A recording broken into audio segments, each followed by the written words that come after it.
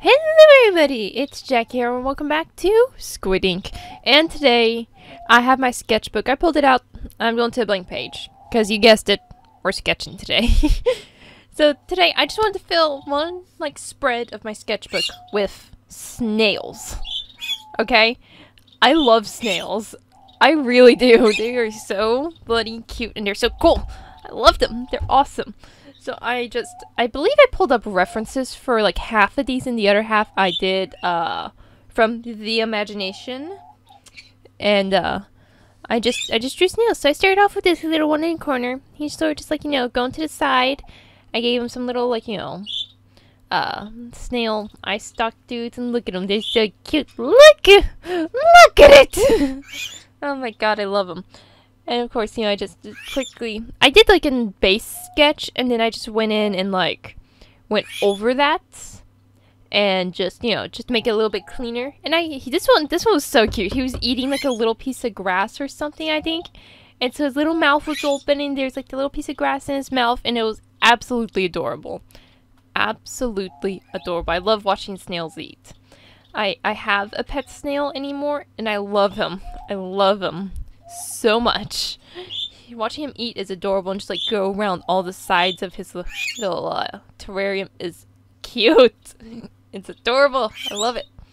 But anyways, I just, you know, finished up the little shell with like this little swoopy shape that goes around them, trying to make it look like, you know, it's like on him, but like also behind him all at the same time, since it's all circly like that, you know? Time that idea, I also gave him some little snail blushies, because I thought that would be adorable, and I was right, it is adorable, and I like that. I also just quickly add in like some shading and stuff all over him. Add in some little, you know, shading and snaily texture and kind of where I see in the reference. Kind of practice that.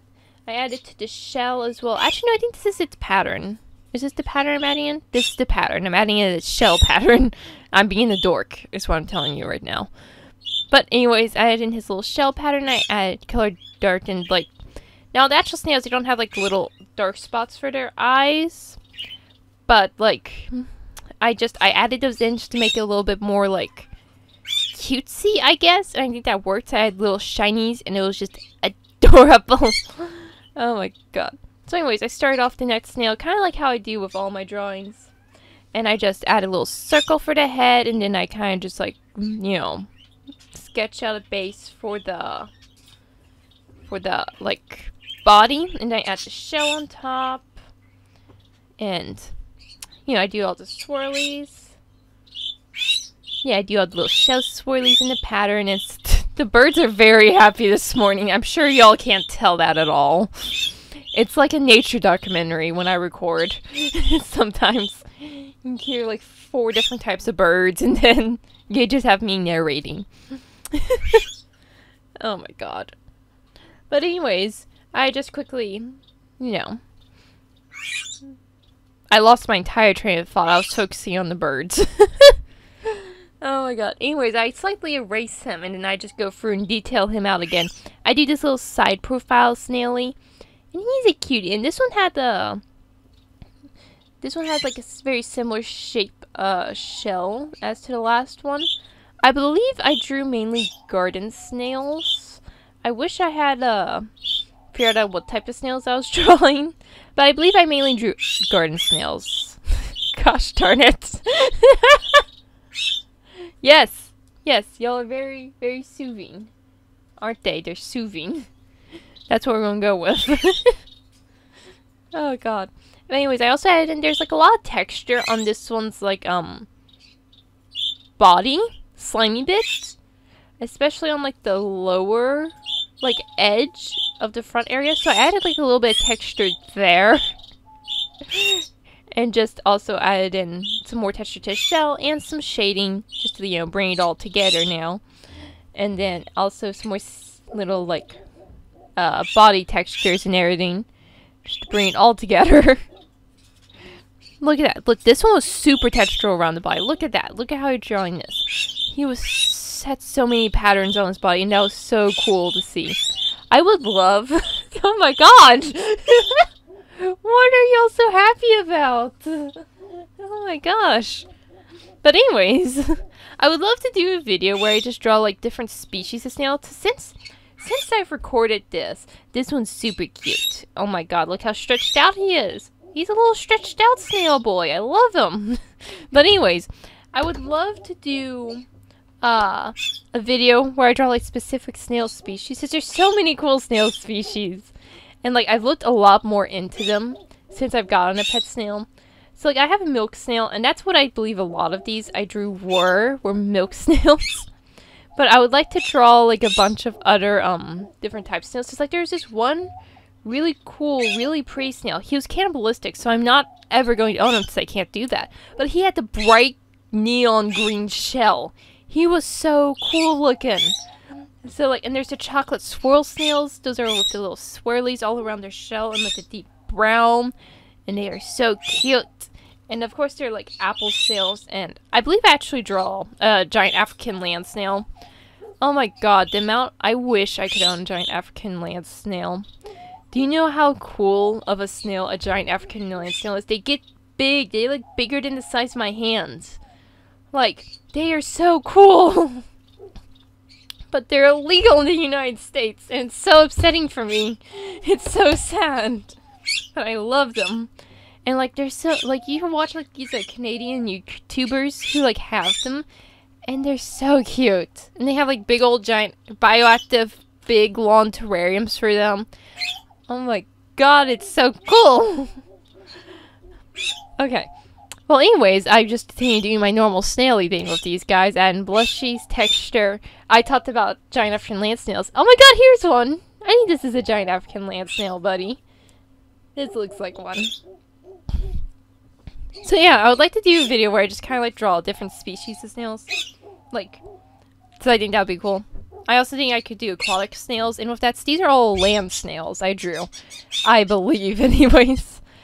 But I think I could definitely do video where I just draw, like, snails in general. Land snails, some aquatic snails, and, like, maybe even some slugs. I saw this really cool slug uh, on YouTube where it was this little pancake slug. So he's like this little flat, chunky slug. And he was adorable, and I loved him so much. I can't own him. Once again, it makes me sad, but he was so cute. I love him. Oh my god. Can you tell I like snails a lot? I don't think that's obvious yet. but anyways, I draw my little giant African land snail. This is definitely a giant African land snail, considering its shell shape is very much so of like, when you look them up, they definitely have that very like I don't know what shape you call like their shell, but they definitely have that sort of shape as I'm drawing this one. Of course, I add the blushies and his little darker eyes. And it's very cute. Oh my gosh. And I go for, I love this one. I love this one. He's so squishy and cute. Oh my gosh. So I, I essentially just draw like a above view of like a little baby snail. And he has like, you know, his little eye stalks going up like this. And look, look, he just, he's just so squished. Look, He's so cute! His little shell shape's kind of interesting. Like, from what it looks like to me, kind of doesn't have a same one as the other guys. So he might be a different species of snail I was drawing. I don't really remember anymore. I don't even know if I have all the references I used saved, if I went to Google, or if there was like, or if I saved them on Pinterest, or what. So I don't really remember. Okay, so if I remember correctly, I think I did this one from my head here. I did the, definitely one above it from a reference, but I did this one from the imagination, I believe. Kind of like using what I learned already and just like, uh, you know, adding that into drawing my own little snail buddy. And it kind of, it was very cute. He looks like kind of looks like, you know, he's like the squishy one, but it was just the other shell shape I was doing. I believe this one's from my uh, head, too. Where I just, like, drew, like, this little, like, squishy down, like, snail, like, you know, looking down or, like, you know, spreading out or something like that was kind of the idea, if I remember correctly, and I did this for my head. I think I did. I truly think I did this. So I was trying to fill in the space and I believe my thought process during this was, well, I'm going to fill in this space, so I'm just going to draw sort of whatever, you know, in my brain going around in there, kind of use what I learned. Kind of like um what Drawing with Waffles does. Sometimes when she does this her studies or whatever in her sketchbook, she would like do a couple from referencing and do like one from her head or something afterwards or in between the drawings or something along those lines.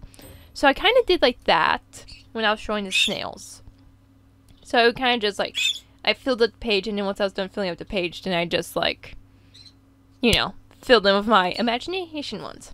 Now this one is, I believe, another one from my head. No, wait, no, this one's not. It's this one's half and half. I lied. This is half and half because I used a reference for the base snail, but then I added butterfly wings onto them, so I thought that would be cute. So then, so if I remember correctly, I used one to see how like, uh, I think I used one for just he had something in his mouth, and I was looking at a reference of that. I believe he's holding like a dandelion in his mouth or something along those lines. And I think that's very cute, so I quickly get a very fast and quick, sort of sketchy. Now I just sort of detailing him in. Oh my gosh, and this isn't actually, he's really fairly cute, but he's not my best snail. But he is very cute. I still like him. Also, I think some of my best snails are were like my smaller ones. I think my two big ones, they were pretty cute and adorable, but I think my smaller ones, they just, they just had a different level of cuteness. I don't know what that was. you know? So I just quickly just finished stitching his little shell and everything's all very wobbly and swirly and cutesies.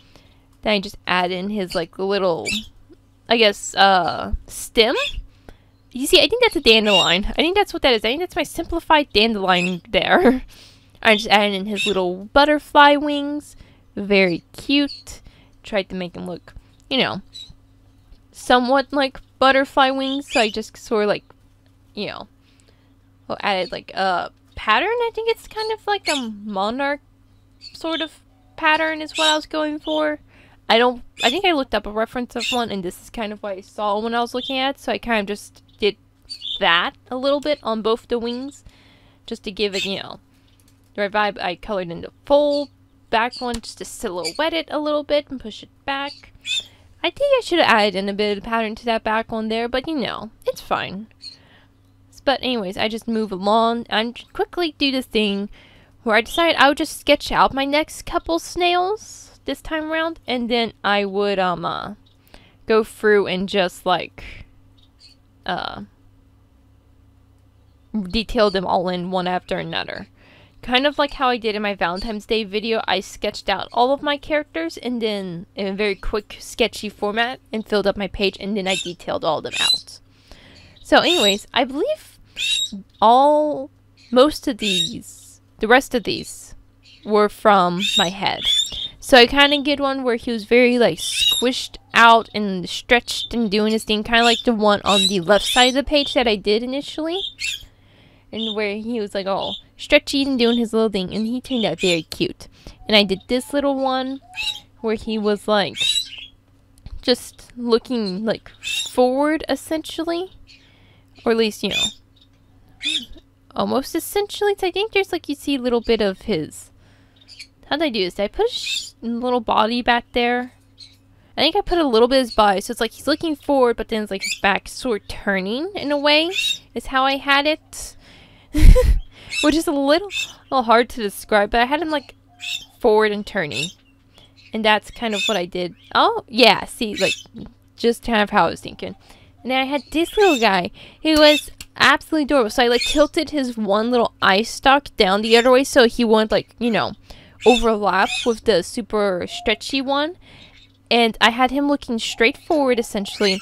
And he had these super like little fluttered out, um, like, I don't know what you called them, like, part of his body, like the edge of his body was super like fluttered out.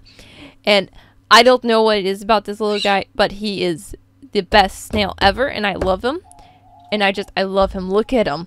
He's so precious and adorable. So I pulled out my Faber-Castell Pitt Art pens. These are in the color, I think, sepia. And I just started line arting this little one right here. It's, I love them so much. It's like, I need to color him. He needs to be in color. He deserves it. He deserves every last little bit of this. I had a little heart for him. I pulled out my Prismacolor Premier. This is the Botanical set and my pencil sharpener. I erased my little snail, and I couldn't decide what colors to do. So I made two little tiny versions of my snaily up there. And I started one off with green skin and a pink shell, and the other one with pink skin and green shell. And I decided on pink skin with the green shell, so I thought that was absolutely adorable. They were both so cute, it was a hard decision, but this is kind of what I landed on. So I started off with a super pastel pink color. Did base that, then I added in a slightly darker color, just like all around all spots, like where he would like kind of have like blushies and slight different tonal differences like that on his body. And then I used a super dark color for like the shading on the body. And I think that turned out really well. like I think she turned out so cute look at it. And then I started kind of a similar way. I used the green as like a base on the back of the, the back shell. you know, the base of the, the back. I keep going to say background, but I mean the shell, just the shell. Then I take the slightly darker color and I add in all the different lines and texture with it. Then I take the super dark color and just shade it all in to add that depth that it kind of needs. And then I just like blend that the crud out and then with that, I just add in a little pink to the heart, and he's all done. Well, in fact, I add in a ton of little tiny sh shiny bits just to finish him off and make him look, you know, slimy and beautiful and healthy and nerdy. And I ran around and added hearts to every single snail because I loved them so much. and I was so happy with how they turned out. So everybody got hearts. I liked how the little two who like color swatch ones turned out a lot. But that is all time for have today. As always, I hope you have an amazing day and I'll see you guys next time. Bye!